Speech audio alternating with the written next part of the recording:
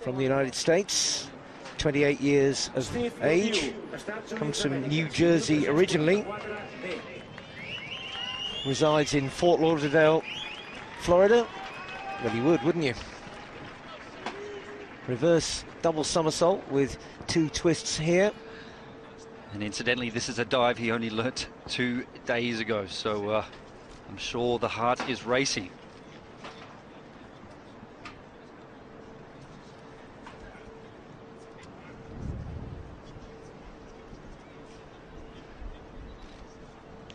Running through the manoeuvres in his mind.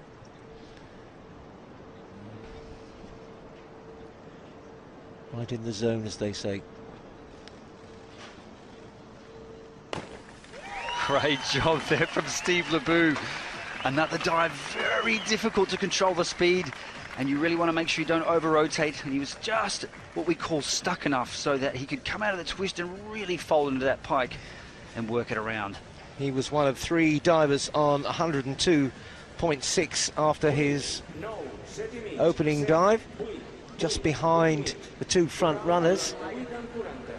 And again, he scored good eights right across the middle there. A few discrepancies with a nine there and a seven, seven and a half, but uh, look, he's happy, he's smiling.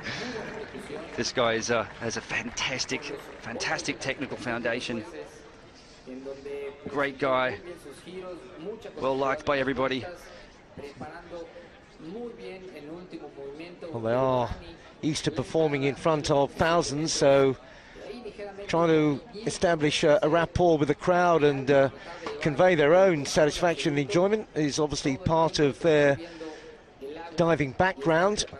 Wow, this guy has coils in his legs. He has explosive power like none of the divers that we have in the series at the moment.